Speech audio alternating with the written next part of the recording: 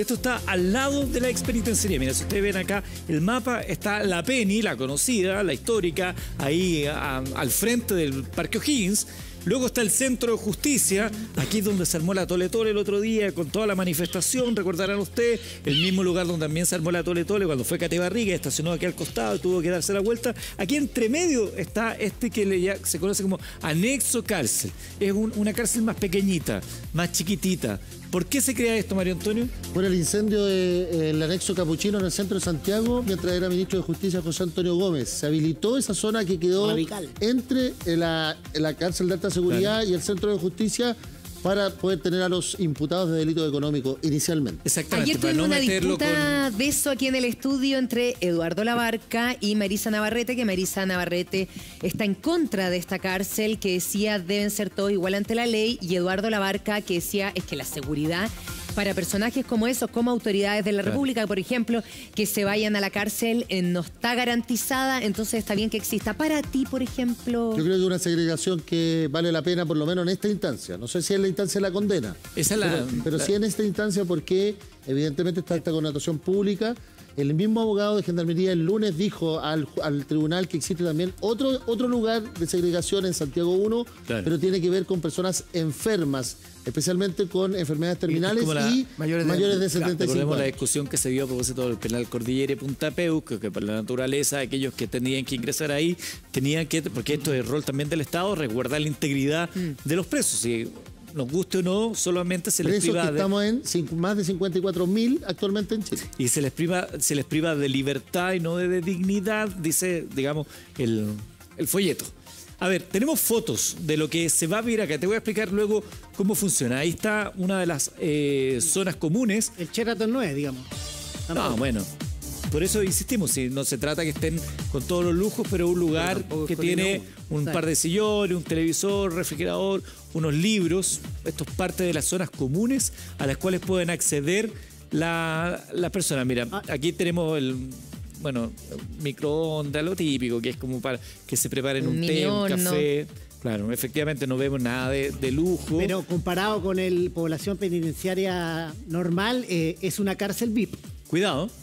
Habría que ver las celdas VIP, habría que ver en qué condiciones, porque efectivamente cuando hablamos de las cárceles hablamos del hacinamiento, de la gente que está durmiendo en el piso. Ya, pero del eso no es- 97%, sí, 99% de pero- la cárcel Pero también dentro de la cárcel hay gente que vive en... Vimos algunas celdas de lujo la otra vez, ¿se acuerdan? Aquí vemos mesas de plástico, como las que se ponen en las terrazas, los televisores, Un buen rosario. un rosario de lo arrepentido del reino de los cielos, nunca es tarde.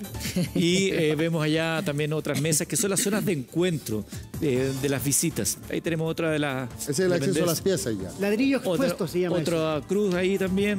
En fin, ladrillo qué? Expuesto se llama esa técnica de... Y ladrillo princesa, que son los lisos, es parte de lo que. Y esto es el termo. Lo que se ve aquí. Para el agua, ahí hay una diferencia, agüita caliente. El baño es común. Gimnasio atrás, mira, a la, al costado Sí, izquierdo. bueno, ahí está O el sea, un par gimnasio. que, no mira, que si bueno, es bueno ver esta imagen. gimnasio. Pero es bueno ver esta imagen porque. A ver, si puedes ponerme por favor, eh, Memo, el plano que tenemos al comienzo, porque cuando uno ve el plano, que es lo que probablemente usted va a ver en la prensa, se va a generar una idea equívoca de lo que realmente es. No la quiero defender. Se entra por acá, a este sector, aquí está el, el patio, el, control policial de gendarmería, y acá hay una reja. Y esa reja te da acceso a estas habitaciones que son de 4x3, donde hay unos camarotes con un escritorio. Eso es básicamente lo que hay acá. Entran por la puerta y aquí hay camarotes, tienes que compartir y hay un, un sillón. Acá hay un baño, que es un baño común. Todos los ¿Dónde que están el acá termo? Que se veía el termo ahí. orinan, defecan, se lavan las manos, se duchan. Como Cuando- todo baño, digámoslo. Ahí, en un baño común. No hay baños especiales Privado. para cada reo, no tienen ningún tipo de atención en particular. Esto que vemos acá son las salas donde se reúnen con las visitas, que son las mesas blancas que veíamos, las mesas de plástico. Y mira, acá aparece un gimnasio. ¿Ya? Gimnasio, pueden ver acá. Si usted ve esto en la prensa y dice, mira, esto tiene hasta además hasta un gimnasio. Bueno, la verdad es que el gimnasio es una máquina, que es la que veíamos en la fotografía recién. Ya que hay un acceso a un patio y la cancha de baby. Esto tiene horario, ¿ah? esto no es llegar y... ¿ah? De 9 a 12 visitas martes y domingo. Esa es la opción. Desde las 9 de la mañana hasta las 12, martes y domingo. De las 2 de la tarde hasta las 5 hay visita los días jueves y a las 6 de la tarde se hace el cambio de guardia. Hay uno o dos guardias dependiendo de la cantidad de presos que estén ocupando. Todo esto con circuitos de ¿Quiénes cámara pueden? y televisión y con luz artificial. No hay ventanas. Sí, hay que enrolarse en gendarmería para acceder a las visitas. ¿Qué ¿no? significa No. enrolarse? Ir a la oficina que está en, la- en Santiago Centro de Gendarmería, presentar la documentación de que uno es familiar o cercano del Y imputado. tienen toda la, no sé si garantía o, o derechos de cualquier preso, por ejemplo, visita conyugal y todas esas cosas. Eh, en, eh, en el caso de Capitán Llaver hay ciertas solicitudes que las va definiendo la propia eh, gendarmería o ya pasa se- sencillamente al juzgado de Claro. garantía que está no viendo hay, la situación. No hay venusterio como tal, No hay como un en la, venusterio en como la tal. cárcel pública. Claro, Que y- expliquemos lo que es el venusterio, un Eso. lugar habilitado para que los reos puedan tener intimidad con sus parejas. Un motel tras la reja. Claro. Y eh, lo que te digo de este enrolamiento, eh, dependiendo de eh, la imputación y de las posibilidades logísticas, es que, que Gendarmería autoriza si dos o tres o cuatro visitas. Y recordemos que se creó toda una suerte de política de venusterios, es decir, de crear un espacio, venusterio es una palabra como súper elevada, para crear un espacio para que ellos puedan tener intimidad, porque durante mucho tiempo en los lugares comunes se hacían unos ruquitos con sábana y ahí junto a todo el mundo se escuchaba la crujidera finalmente, porque estaban ahí ellos dándose. Y también el horario que tienen los eh, reos desde las 8 de la mañana, que está la cuenta, pasan lista a las 8 de la mañana todos para arriba, eh, la cuenta del desencierro hasta las 6 de la tarde, que es la cuenta y encierro en invierno, y a las 21 horas en verano. Esa es la forma que tienen de convivencia en este lugar, que es el anexo Capitán Llaver, donde está el alcalde de Recoleta, Daniel Jave, en la el calle alcalde Pedro.